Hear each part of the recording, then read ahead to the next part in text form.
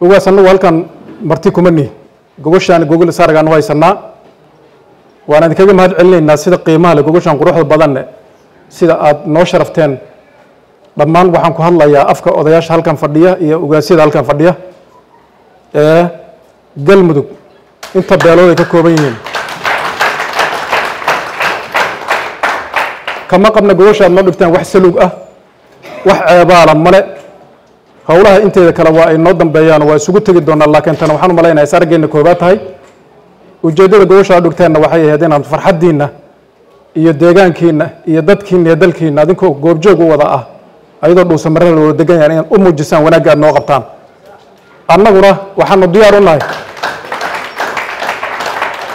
Annaguna waxaanu diyaar u nahay inaan si qalbisamo ah oo caloolfayoobi ah aanu kaga qayb galna shirkan ee guddiga noo cilaamiyeen ee guddiga dib heshiisiinta ay noogu baaqeen inaan nimaado galmudug oo halkaas aana kaalimadii aan ku lahayn ee odayaasha ama ugaasida ay ku lahaayeen ay ka muujiyaan iyo waxgaradkooda kale. Halkan annagu maanta aan joognaa waa dhuusamareeb magaalo madaxdii oo galmudug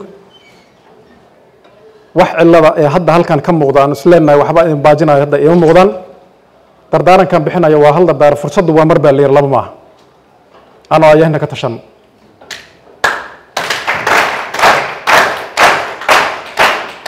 haddaanan aayahana ka tashan cid saxan dahaba wax noogu keenaysa ee wax noo dhisaysaa ma jirto.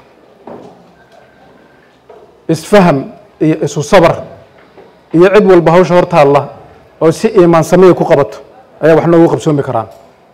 Waxaan leenahay beesha halkan gogosha noo dhigta ee reer dhuusamareeb ugaasku uu hogaaminayo ee cayr walaalayaal waa dhownahay waana ku faraxsannahay gogoshaad noo dhigteen horaanu shaqadeenna u gelina haddii allah wadalo ogolaado dareenkaas horaanu u qabnay inaad si wanaagsan noo soo dhaweyseen ilaa iyo arboor ilaa meel walbaad nagu soo dhaweyseen.